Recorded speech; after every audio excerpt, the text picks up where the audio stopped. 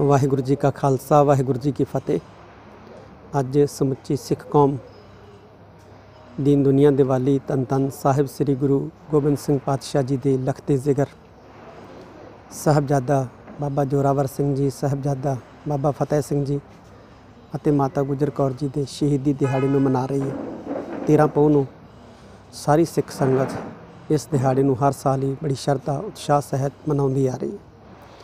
ਹਰ ਸਾਲ ਦੀ ਤਰ੍ਹਾਂ ਇਸ ਸਾਲ ਵੀ ਸਮੁੱਚੇ ਸਿੱਖ ਜਗਤ ਨੂੰ ਇਹ ਅਪੀਲ ਹੈ ਕਿ 27 ਦਸੰਬਰ ਨੂੰ 10 ਵਜੇ ਤੋਂ ਲੈ ਕੇ ਸਵਾ 10 ਵਜੇ ਤੱਕ 15 ਮਿੰਟ ਜਿੱਥੇ ਵੀ ਕਿਤੇ ਅਸੀਂ ਮੌਜੂਦ ਹਾਂ, ਉੱਥੇ ਹੀ ਇੰਨਾ ਕੁ ਸਮਾਂ 15 ਕੁ ਮਿੰਟ ਦਾ ਅਸੀਂ ਮੂਲ ਮੰਤਰ ਤੇ ਗੁਰਮੰਤਰ ਦਾ ਜਾਪ ਜਿਹੜਾ ਹੈ ਉਹ ਜ਼ਰੂਰ ਕਰੀਏ।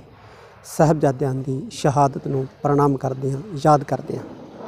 ਦੁਬਾਰਾ ਫੇਰ ਇੱਕ ਵਾਰੀ ਮੈਂ ਸਮੁੱਚੇ ਸਿੱਖ ਕੌਮ ਨੂੰ, ਸਿੱਖ ਜਗਤ ਨੂੰ ਇਹ ਅਪੀਲ ਕਰਨੀ ਚਾਹੁੰਦਾ ਕਿ 13 ਪੋ 27 ਦਸੰਬਰ ਨੂੰ 10 ਵਜੇ ਤੋਂ ਲੈ ਕੇ ਸਵੇਰੇ 10:30 ਵਜੇ ਤੱਕ 15 ਮਿੰਟ ਸਾਹਿਬਜ਼ਾਦਿਆਂ ਦੀ ਸ਼ਹਾਦਤ ਨੂੰ ਯਾਦ ਕਰਦੇ ਹਾਂ, ਮਾਤਾ ਜੀ ਦੀ ਸ਼ਹਾਦਤ ਨੂੰ ਯਾਦ ਕਰਦੇ ਹਾਂ।